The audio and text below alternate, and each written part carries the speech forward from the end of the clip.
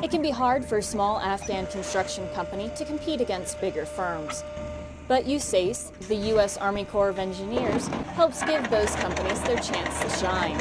Early on in the projects, probably FY08, FY09, uh, a lot of these contractors, the Afghan contractors, were primarily just subcontractors to larger primes. And as they see the process that specifically the Corps engineer has and learn these processes, we're starting to see more and more competition of these guys as the prime contractors.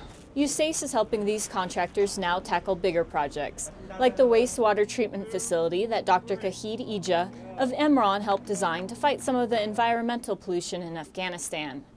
Eh, I am glad that I can help solve the environmental problems that Afghanistan is facing and contribute. With experiences from projects like these under their belts, Omran and other Afghan companies are better prepared to compete against international businesses. Air Force Staff Sergeant Rebecca Goodwin, Kabul, Afghanistan.